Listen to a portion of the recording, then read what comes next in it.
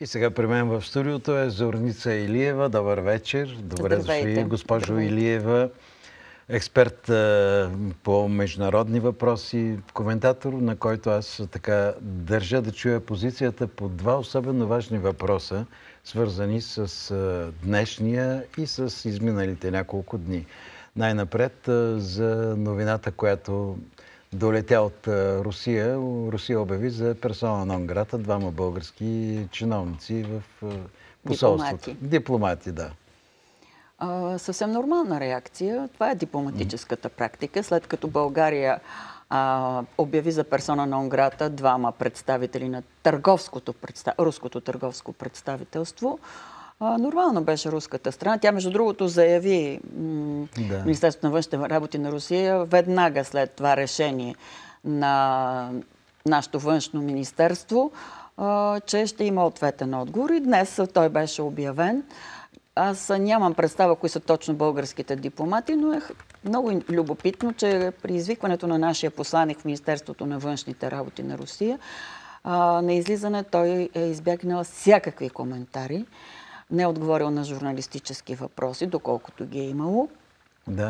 Както и, ако си спомняте, а, когато нашето външно министерство връчи нотата на руското посолство за изгонването, т.е. за обявяването за персона нон грата на руски а, представители, да. а, посланика на Русия не я е получил. Той е изпратил а, да свой колега от посолството, за да може да приеме тази нота. А, между другото, руският посланик е приключва мандата си у нас, ще има нов руски посланик. Но аз мятам, че независимо от тези, така, смея да твърда, напрегнати отношения, дипломатически, а, и се надявам, разбира се, да няма отражение от тук нататък върху по-нататъчните връзки и контакти, защото така или иначе Русия, независимо от нашата нова ориентация, която имаме а, в международен план, си остава една голяма геополитическа сила.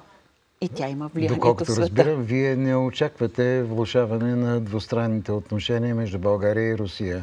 Надявам се да проявят достатъчно мъдрост нашите управляващи mm-hmm. в момента, пък и следващите, да не осложняват допълнително отношенията си. Не случайно споменах, че Русия е една от геополитическите сили, или както сега се е оформила така тройката. Е, да. И играта, между другото, колкото и да е сложна между геополитическите играчи, а, тя изисква по-голямо да. внимание и да не се осложняват отношенията, защото големите играчи винаги намират начин или да, да използват като прокси малките, или съответно да нанасят ударите там, където най-малко се очакват, а ние бяхме свидетели на такива поне изказвания от страна, включително на президента Путин, които болезнено засягат, засягат нашето достоинство, най-малкото. Така е. Но времето ще покаже. Да, надявам се на, така, на експертност по-добра да, в... Ние все още сред погледнах, докато вие говорихте да. дали са излязли поне имената на двамата български ами, дипломати. Които и да са те, да. реципрочна е мярката, тя е стандартната в дипломатическите отношения. Защото Нищо различно. дипломати бяха заподозрени в шпионаж. Ще видим нашите в какво. А, шпионаж, който, разбира се, от руска страна се отрича. Mm-hmm. А, нямам представа какви са в крайна сметка доказателствата, но не забравяйте, че подобни подозрения има включително, т.е. бяха обявени включително и за сътрудници на нашия президент. И знаете какви реакции, какви коментари имаше сред нашето общество, преса и експерти. Така че нека да не задълбаваме, защото мисля, че в света, в който живеем, наистина много често се използват всякакви такива поводи, когато е необходимо напрягане на обстоятелствата на отношения, на обстановка, създаване на съответно напрежение или париране на някакви действия. Днес, например, пък руски експерти е, имат изказвания, че българите са най-проамерикански настроени и дори се подиграват за това нещо. Което, разбира се, това е унизително за достоинството на всеки един българин, защото така или иначе в большинството си нашия народ питае а, чувства на симпатия към а, руския народ. И така, това са съответно отклик на съществуващи Да се върнем обаче на Балканите. Зоран Заев беше много недоволен от, как да се изразя, твърдата позиция на външното ни министерство и на госпожа Захариева. Да, това е една среща между външния министр Бояр Османи на Македония и на Република Северна Македония и на нашата, нашата външна министърка, която традиционно се прави при очаквано посещение на високо ниво, примерно срещи да. на премиерите, която се очаква до края на месеца да бъде осъществена. А, още на пресконференцията, между другото, след срещата Османи и Захариева, а, пролича а, така, използването на общи фрази, без конкретика, въпреки че Захариева каза, че държиме на условията, които са от договор за добросъседство от 2017 година и България ще отстоява своите позиции. Бояр Османи се задоволи с много приказки, които в крайна сметка не дадоха информация какво са се разбрали. А на дипломатически язик това означава, че просто не са се разбрали а, и че няма никакви резултати, с които да се похвалят, т.е. няма нещо добро, с което да излязат пред а, на пресконференцията. А думите на Заев, който казва нещо, цитирам по памет, вярвам, че това не е позицията на Бойко Борисов, че това не е позицията на българския народ. Да, това беше вчера, на следващия ден след срещата, която беше в петък, веднага след срещата. А, вижте, а, буря има в македонските медии, а не само след думите на Зоран Заев и срещата на външните министри, още при гласуването на резолюцията в Европейския парламент. Сякаш изведнъж отново се върнахме във времената, когато ние казвахме а, и доста въздържано, нали, не отговаряхме а, така наречен език на омразата и антибългарските да. истерии, които имаше в Скопие. А, примерно след гласуването на резолюцията в Европейския парламент, редица а, медии, т.е. преса в Скопи излязоха с заглавие, включително и много сайтове, популярни, включително и у нас, в които се казва, че ветото на България е посипано с пепел, България си вкара автогол, а, нищо не могат да. да направят с това вето. По проста... Ветото става въпрос, че България поставя условия относно започването на преговорния процес на Република Северна Македония за членство в Европейския съюз, защото се очаква да до, края до, на, да, до края на годината ще има една такава междуправителствена конференция, на която ще бъде взето, така, ще бъде даден старта на този процес. И това става в 6 месечето, когато Берлин е председател в Съюза и Германия много държи да бъде стартиран този процес. Не за друго.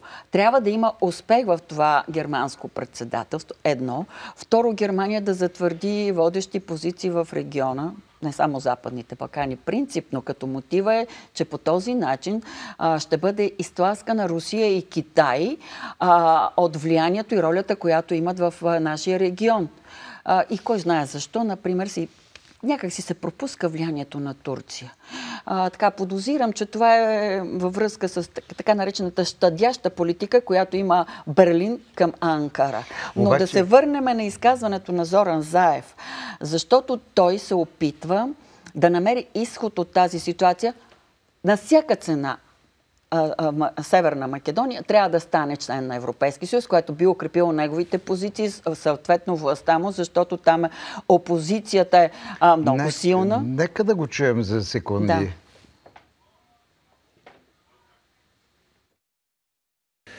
Разговорите помеѓу министрот за надворешни работи Османи и премиерот Бојко Борисов беа добри, но разговорите помеѓу министерката Екатерина Захариева и министрот Бујар Османи не се баш добри.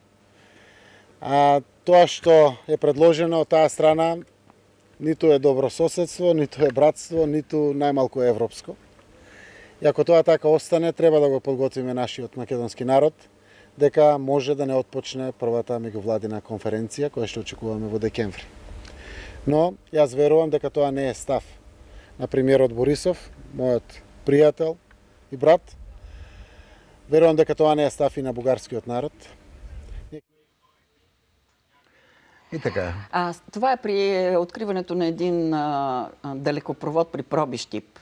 А, изказване. А, разбира се, той използва един ход. Между другото, ход който не е така а, маловажен, а, според него би му свършил работа, да разделя а, личното мнение на нашия премьер от това, което е декларирала министър Захарева. Но в случая, може би странно за а, нашето общество, но министър Захарева отстояла позициите, които са позиции на нашето Народно да. събрание. Приети не вчера, както се казва, тогава Скопия даже не реагира. Това са така наречените червени линии, прието, между другото, от всички парламентарно представени групи в нашето Народно събрание, позиции, от които София няма право и не може да отстъпи при, за условия, и това са условия, за да може да стартира процеса на Република Северна Македония за присъединяване към Европейския съюз. Ние никога не сме казвали, че сме против членството на Република Северна Македония в Европейския съюз. Но ние имаме условия, защото, между другото, самия Европейски съюз, знаете, че има правило стават членки държави, които са решили помежду си, между съседските проблеми. Нямат помежду си, за да не стават диалози или разправи в так, такива присъединителни Те процеси. даже се обидиха и на Европейския съюз, че ако това продължава, това значи Европейския думи съюз... На, да. да, на бившия външен министр Никола Димитров, който сега е министр по европейските въпроси. Между другото, хода да се назначи Бояр Османи, представител нали, на етническото да. младсинство, албанското етническо младсинство в Македония, като а, външен министр, е ход, за да може да се намери а, допирни точки примерно в София, защото има такива мнения, включително и у нас, че по-лесно може да се а, дебатира с представител на албанското младсинство, отколкото с представител на нахъсани или така а, убедени в своите а, правила а, македонски политици. И това е много така любопитно като, като извод, който се прави не само у нас, а и в Скопие. Но да се върнем към думите на Зоран Заев, той все пак... А, казва, че разчита на личното решение на премиера а, Бойко Борисов, той да го вземе, т.е. да не се съобрази. Първото, това е решение на нашето народно... Моя приятел и брат. да. И, а, с решението на Народното събрание. После, в 61-та минута все пак а, имаше решение, явно имало решение на правителството, да се внесе в Брюксел един меморандум, с който да се запознаят евродепутатите с нашите условия, за да може да стартира този процес за Република А направи ли ви впечатление, че Зоран Заев даже поиска и ще потърси, може би, подкрепата и на президента? Естествено, че се опитват сега по всякакъв начин. Аз ви казах за Зоран Заев, това е изключително на важен... На президента Радев, не на, на Разбира техния, се, че да. на... техният президент Радев няма позиция, която да е различна от тази на Зоран Заев. Да. Между другото, по този въпрос те имат едно и също мнение заедно по въпросите, които са наши условия да. с опозицията в Скопие. Но исках друго да кажа. А, по всякакъв начин се търси контакта с Брюксел и се отстоява да. тяхната теза. Само преди два дни отидоха Зоран Заев, министра на отбраната Бояр Османи в НАТО да се срещнат с Столтенберг. Тук не се даде гласност на това посещение, но определено е свързано с така молба за съответно натиск. В момента натиска е най-силен от Берлин, между другото, по, да. по тази тема, но което не значи, че не очакват подкрепа и от страна на НАТО. Вижте, Скопие свикна, след като ние подписахме един договор, така набързо го подписахме, за да може пак под натиск, за да може а, Република Северна Македония вече със смененото, след така известно време щеше да си смени името, но тогава ние подписахме договора с Република Македония 17-та година да стане 30 член на НАТО. И те сега мислят, че както тогава а, е имало съответно така, натиск или а, призоваване за съпричастност, да. сега ще бъде решен по същия начин и с Европейския Други съюз. Други са времена. Но има нещо друго. А, първо, ние имаме решение на нашето Народно събрание. А, второ, имаме е, изявление или по-точно становище на БАН, защото както в договора, така и в нашите условия а, не, не става въпрос за история само, обща история. Гоце Делчев, общи герои, а, образование. Защото образованието Ама не е мръднал. Заев каза, че Гоце Делчев не може да ни раздели Разбира се. с България. Разбира да. се. Той още говори, че се бил съгласил на обща история, но а, вижте, там има въпроса за а, езика македонски изкуствено създадения и това е обществена тайна, исторически година. факт. Разбира се. А, нацията, а, идентичността на а, Република Северна Македония. Това са съществените въпроси и ако ние приемеме това, което настояват в Скопи, това значи ние да се откажеме от вековна наша история. Да се откажеме от уния наши предци, които са си дали живота за тази кауза. Защото това е било кауза, една от малкото, която обединявала българите. Водили сме войни за това нещо. Революцио... Нашите революционери от ВМРО, които са се борили за независимост, освобождение на повърдарието а, mm-hmm. от а, османците. Всичко това Значи ние да а, просто да го зачеркнем, да го оставим в миналото. И сега, за това ни призовава в момента в Скопие. И вижте, подписан е договор, в който изрично е казано, че няма македонско малцинство, а те се радват за това, че в резолюцията е имало а, споменаване да. на Омо и Линден. Тоест, може ли да имаме доверие на управляващи или по-точно на някои от медиите, които внушават на населението, че а, в България не се спазват законите, че има малцинство и не се отказват от тази своя теза. Нещо, което е опасно за нашата сигурност и в бъдеще, не само в настоящия Какво, момент. Какво вас ще си говорят в началото, края на октомври или началото на ноември а, Зоран Заев и Предполагам, Бойко че след като те е излязоха в Скопия, да, това от, при, да, на гроба на, на Гоца Делчев, между другото голям грях имат някои, които са предоставили костите на Гоце Делчев, да, за да бъдат положени в Скопия, но това са вече минали неща, ние не можем да ги върнем. Както и архива, между другото, на Македонския научен институт. Голяма част от него, разбира се. Но а, Надяват се в Скопие, че ще има достатъчен натиск от страна на Берлин, много разчитат на Берлин, да. за да можем да приемаме в крайна сметка а, всички а, да не гласува България с вето за, за стартиране на този процес. А, натиска ще бъде персонално върху нашия премьер и тук е вече а, дилемата. Какво решение ще се вземе в последна сметка, защото то касае, как да ви кажа, отнася се и до достоинството, честа и, и, и тия казват, че са 2 милиона наследници на старите македонски родове от Повърдарието и от Егейска Македония. да. Тези хора едва си издържат гнева сега при а, всичките тези отстъпки, които ние години наред правиме за най- най-близкия ни народ. Наистина това ни е най-близкия народ. Не, не, не е това само да се каже, че най-романтичната страница от нашата история. Ние първи ги признахме, знаете ли, не само защото са ни най-близки. Просто в, този момент на разпадане на а, а, бивша Югославия, на Федеративна република Югославия, апетитите на други наши съседи за раздяла на Македония не бяха скрити. И тогава България успя да реагира а, много бързо за да може този процес да не се осъществи. Това не се коментира у нас, но това е факт. Ами... И, и сега ние сме изправени пред една дилема, в която, давайки този старт, ние трябва да се откажеме от наши изконни интереси исторически, а в същото време, вижте, нищо наше присъствие в Република Северна Македония няма почти.